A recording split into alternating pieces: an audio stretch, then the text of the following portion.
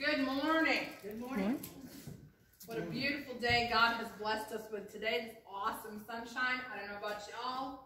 We may have needed the rain, but I don't like the gray days. So I appreciate every ounce of sunshine we can get this time of year because I know it's not often that we're going to get it. It's few and far between those days. This morning, I just love how the Holy Spirit works together because Beth and I have not conferred at all on the message. And when she read the call to worship this morning, I was like, man, that is so good. It's going to fall right into line with what God has been speaking to my heart all week and right along with what Joni said. Those of you that were here last week know that we are, if you wanted to, downloaded the app called Read Scripture. I hope some of you had taken advantage of that to do daily Bible readings. And this morning we talked about the promises of God in that scripture reading that was in the Bible app. We also talked last week about starting our year off right with God. So church house was open for prayer both here and at Madisonville this last week on the first day for anybody that wanted to come in and really center themselves and focus themselves on where they are in their relationship with God and what God's doing with us this year. So everything just kind of flowed right together. And I love when the Holy Spirit does that because I know that means He's moving here today, and I'm excited. I'm excited because as we get to talk in Romans chapter 6, if you want to turn there, Romans chapter 6, we're going to talk about what it means to be our old selves and then be our new creations that we are in God. Romans chapter 6, we're going to start with verse 15. Before we read our scripture this morning, let's go to God in prayer. Gracious God, we thank you for allowing us to come together again today, to be able to share with one another. we know, Lord, that we're gathered together with sad hearts this morning. The Lord, as we look at your message and as we understand who we are and where we are in our journey, let us look forward to who we are going to become. Help us to center ourselves on you and your words and your thoughts.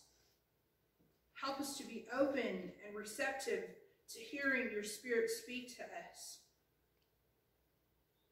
Help us to be the lights in our community. Lord, we thank you for all the blessings that you have given us, all the love that you share with us. Lord, this morning I ask every word from my mouth be yours and not mine. It's in Jesus' name. Amen. Amen.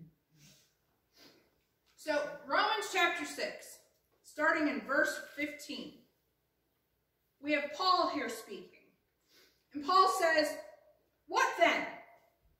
Are we to sin because we are not under the law, but under grace? By no means. Do you not know that if you present yourselves to anyone as obedient slaves, you are slaves of the one whom you obey, either of sin, which leads to death, or of obedience, which leads to righteousness. But thanks be to God that you who were once slaves of sin have become obedient from the heart to the standard of teaching to which you were committed. And having been set free from sin, have become slaves of righteousness. I am speaking in human terms because of your natural limitations. For just as you once presented your members as slaves to impurity and to lawlessness, leading to more lawlessness.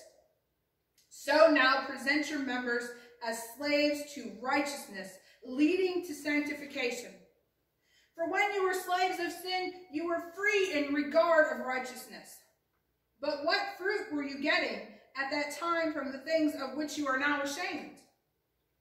For the end of those things is death.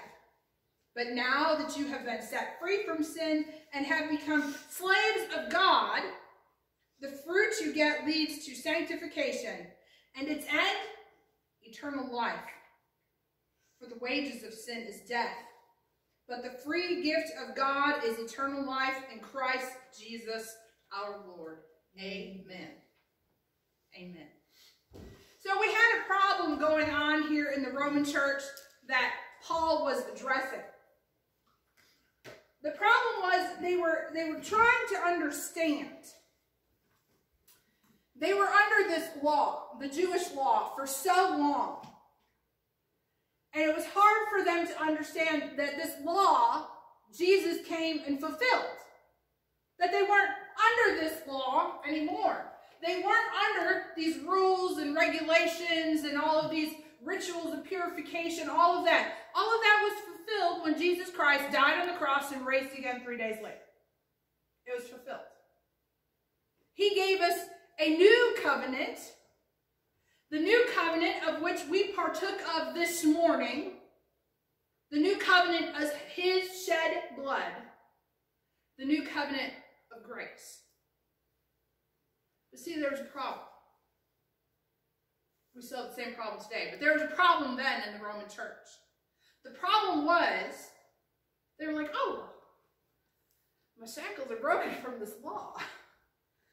So that means I get to go do whatever I want to do, and I can just ask and get forgiveness, and I'm done.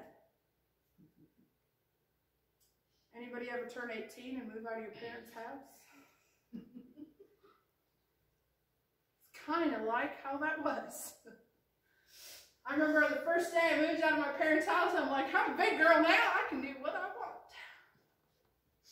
Go where I want, talk to who I want, eat what I want, stay up how late I want, watch what I want, listen to whatever music I want. Right?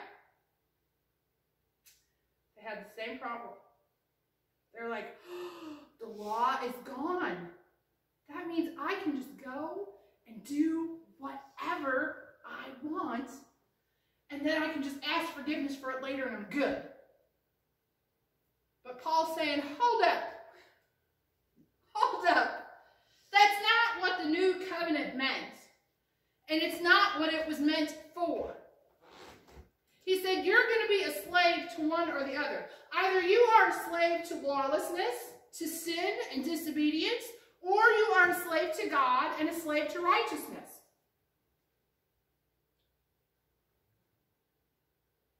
One leads to death, one leads to life.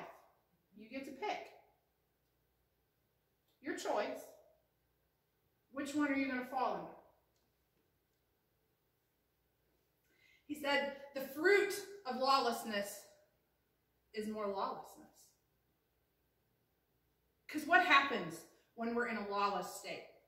What happens when we're in a sinful state? I can tell you what happened to me, and I'm sure many of you share the same story. You don't get into lawlessness by yourself. Usually got a buddy ribbing you, going, hey, let's go do this. Let's go to this party.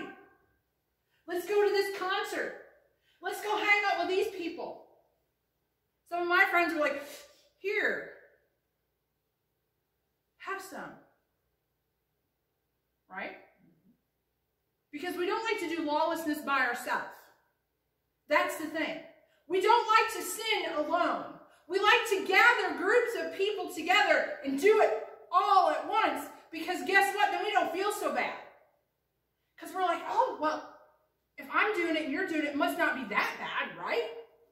It can't be that bad. If we're all doing this together, then it's okay. It's not that bad. But over in Galatians chapter 5, if you want to turn there with me, Galatians chapter 5, Paul says this, starting verse 18, he says, But if you're led by the Spirit, you're not under the law. Now the works of the flesh, okay, the works of the law, are evident. Sexual immorality, impurity, sensuality, idolatry, sorcery, enmity, strife, jealousy, fits of anger, rivalries, dissensions, divisions, envy, drunkenness, orgies, and things like these. Things like these. Because guess what? I didn't go to the bar by myself. I didn't get drunk by myself. there was a group of us. And we were all hanging around, having a great time. But what happens when you get drunk and you have a party or you do any of the things that Paul listed over there in Galatians? What happens? Strife, envy, jealousy. I lived a life of drama and chaos. Because deep down we knew we couldn't really trust each other. Maybe we were good friends, but if you got drunk, I already know you shared so and so secret with me. So, what are you saying about me? What are you revealing about my life that I don't want you to?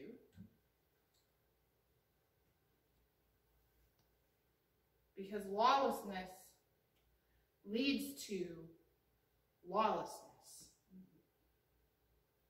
It's a crazy, chaotic cycle. If you've been doing the Bible app with us, read scripture, the videos this week are all talking about how humanity chose to define good and evil for themselves. And when we broke ourselves away from God, it was a downward spiral that just led to more and more sin and more chaos because what's good for me and my tribe doesn't necessarily mean it's good for you and tri your tribe, but I don't care. Because I'm caring about me. See, God meant good for the whole earth. He meant good for the whole humanity. If you read through the beginning, God declares things good. And when he created humans, he said it was very good. We were supposed to partner with God in his creation and take care of the planet. Take care of each other. We were supposed to be fruitful and multiply and civilizations where everybody was taken care of. But then we decided to define good and evil for ourselves, the same thing the Romans were doing in our scripture. They went, I'm free from the law. So that means what's good for me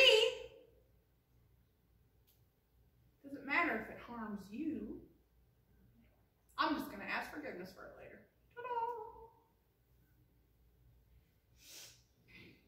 But Paul says not so. You're either a slave to the law, disobedience, lawlessness, and death. Or you choose to be a slave to God, righteousness, and life. We have choice. We have an option. And as Jody said here at the beginning of the year, good time to take stock.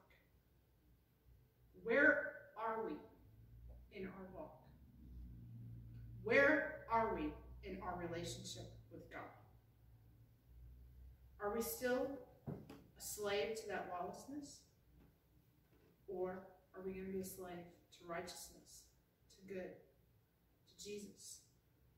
You go back over to Galatians 5, there's another list. Paul says, the fruit of the Spirit is these love, joy, peace, patience, kindness, goodness, faithfulness, gentleness, self-control. Against such things there is no law. And those who belong to Christ Jesus have crucified the flesh. You're no longer a slave to the law, but a slave to righteousness. You're crucified to the flesh with its passions and its desires. And if we live by the Spirit, let us also keep step with the Spirit. Let us not become conceited, provoking one another, envying one another. Let us be a slave to Jesus Christ. righteousness. A member of the new covenant. Understanding that our actions, our thoughts, our words, our deeds show us to be a slave of one or the other. The choice is yours. Lawlessness and death, righteousness and life. Morning I ask you to reflect. Where are you?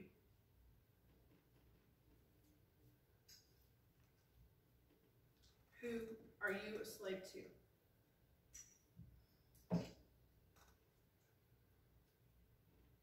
And if you haven't chose life, I invite you into that covenant relationship.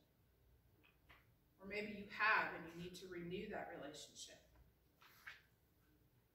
I invite you to come forward this morning as we sing. Turn your books to two ninety-seven.